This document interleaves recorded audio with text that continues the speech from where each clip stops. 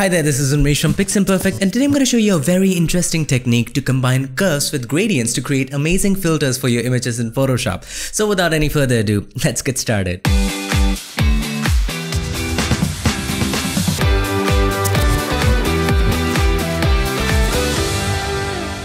So here we are in Photoshop and if you want to go ahead and download this photo, check the links in the description. Before we begin, I gotta say that this technique works best with images with two or more portions of light. Now what do we mean by that? Have a look at this image. There is light coming in from the left and there's also light coming in from the right. So you can have two or more portions of light. However, I would highly implore you and request you to try it with any image that you like.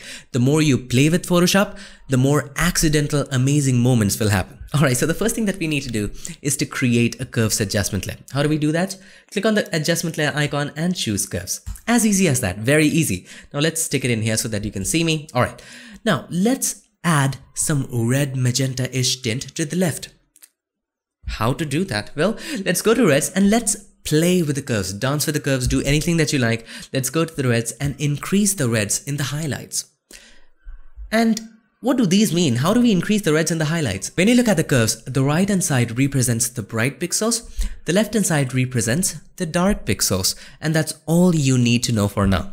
So if you want to increase the reds in the bright areas, just pick a point on the bright area on the right hand side and drag it up. Drag it up to increase the value, drag it down to decrease the value. If you want to take away the reds from the dark areas, where are the dark areas? On the left hand side. So pick a point on the left hand side and drag it down. So that's how this works. On the left hand side, we have the darks. On the right hand side, we have the brights. Let's reset that. Click on this button to reset it. Okay, now let's do it slowly. Red, let's increase the reds. Just like this, it really looks good. Let's go to the greens. Maybe we want a little bit of magenta in the highlights. Now, green is the opposite of magenta, right? RGB opposite of CMY, red opposite of cyan, green opposite of magenta, and blue opposite of yellow. Alright, so let's decrease the greens in the highlights and add some magenta tint. Wow, this looks like something. Now let's make the greens normal in the dark areas and probably we increase the reds too much. So let's decrease it a bit. Okay, let's come to blues.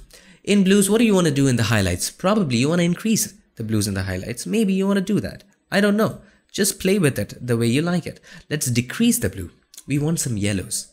Let's decrease it just a little bit, just like that. And let's go back to the reds and increase the reds. And probably, probably let's come to the blues and let's decrease the blues from the middle. Let's try different varieties. Okay, that looks wonderful. Now here's what to do. You can always change this later, by the way. Make sure the mask is selected. Select the gradient, okay? Select the gradient and then draw a gradient from left to right. Make sure the gradient is white to black and from left to right just like this. What happens is that the curves is applied from the left and as you go to the right, the effect diminishes. Because if you have a look at the mask, so let's have a look at the mask by holding the Alt or Option and click on the mask. How does the mask look? It goes from white to black as we did with the gradient. So what is the concept of mask? White are the areas which show up, black are the areas which do not show up. So these black areas, the curves adjustment layer will not be visible. Okay, so let's hold the Alt or Option, click on it again to come back to the image. Now let's create one more curves adjustment layer and here's where the fun begins. Click on the adjustment layer icon and choose curves again. Now this time, before you do anything, here's what I would suggest. Hold the Alt or Option Click on the previous curves adjustment layer, click and drag and drop the same mask on the new curves adjustment layer. Replace layer mask? Yes. Alright. Now, you might ask, why do you want the same mask for another curves adjustment layer? We don't want the same mask. We want to apply the effect to the rest of the image. So, we will select the mask and then invert it. Press Ctrl or Command I.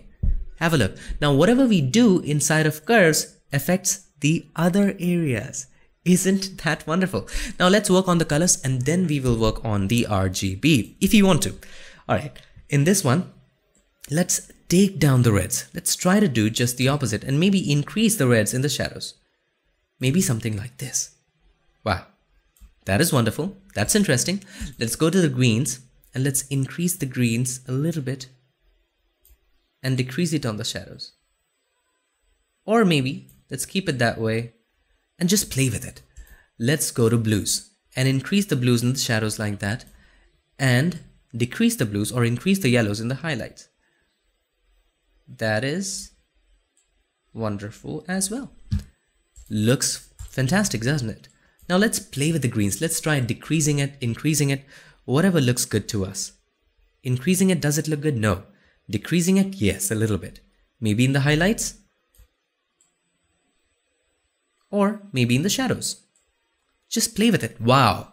Now we did that experiment and accidentally we found out our wow moment. So I would highly recommend that you just dance with these curves, alright? Maybe you'll find something even 100 times better than this. Okay. That is wonderful. Now, here comes the fun part. Let's have a look at the before and after, then we'll go to the fun part. So this is the before, this is the after. Just have a look at the filter, how interesting that is. You can always go back, by the way. So if you want to go back to this one, and maybe you want to increase the reds, so I'll go back to the reds and I'll increase the reds. Okay, maybe you want to increase the yellows or decrease the yellows. That's totally upon you. Maybe you want to decrease the yellows. Maybe you want to increase the magenta. So we'll go and we'll increase or decrease the magenta depending upon the thing that you're looking for. Now, here comes the fun part. Make a copy of this one. If you want to, press Ctrl or Command J. Look at the kind of effect it does. It goes really intense. So here's what I would do. I would put it all the way to the top. Okay. And then again, go to the gradient and make a smaller gradient like this. Probably something like this.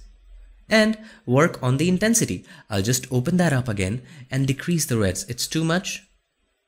Okay.